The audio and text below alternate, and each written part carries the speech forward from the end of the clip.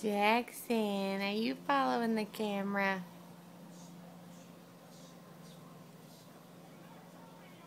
What's up with that grumpy face?